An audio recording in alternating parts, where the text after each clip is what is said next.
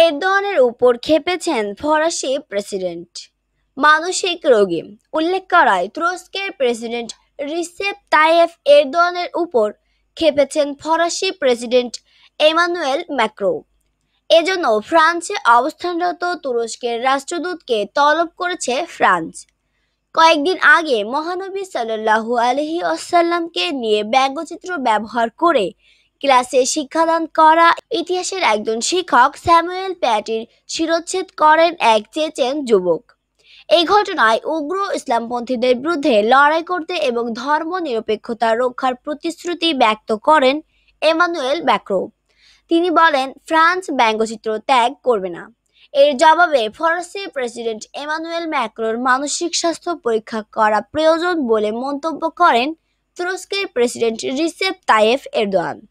তিনি বলেন, Emmanuel macro কার্যত মানসিক রোগী। তার মানসিক পরীক্ষা নিরীক্ষা প্রয়োজন।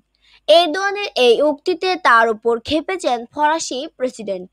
তলব করেছেন তুর্কি রাষ্ট্রদূতকে।